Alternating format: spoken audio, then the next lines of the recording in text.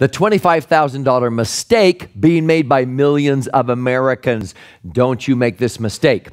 You know, a few years ago, I was speaking with three finance professors at a university, and they told me that in the uh, upper classes, they taught all of their uh, graduate, uh, graduating students that uh, when they go out to buy their first home, that uh, they should take out a 15-year amortized mortgage instead of a 30-year amortized mortgage. And I said, gentlemen, why do you do that?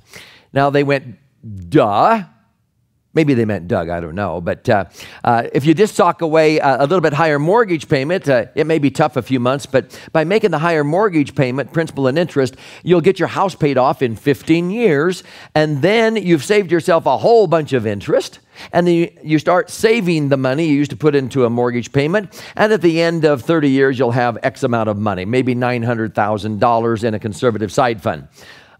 I said, gentlemen, your finance professors. Haven't you ever taken the differential between a 30 year amortized mortgage payment and that 15 year amortized mortgage payment, which is more, plus the tax savings? Don't spend them using a system. Sock away that differential in a conservative side fund, let's say your right hand pocket, and put it in there where it's liquid, it's growing, it's compounding, and don't kill your partner, Uncle Sam the deductible interest in this pocket.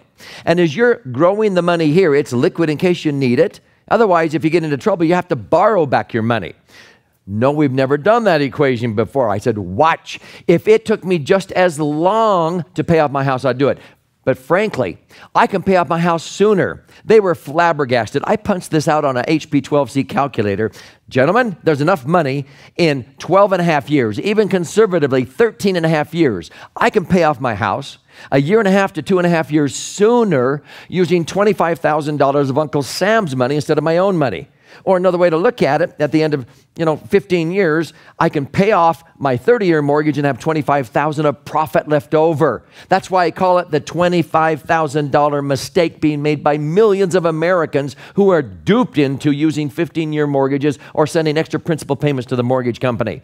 That's on a $150,000 mortgage. Do you know how to extrapolate from this example? If you're listening to this and you have a $300,000 15-year mortgage, as far as I'm concerned, that's a $50,000 mistake. If you're sitting here listening to this and you have a $600,000 15 year mortgage, you're making a $100,000 mistake. You're kissing down the drain a 100 grand.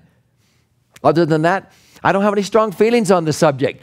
Don't make this mistake.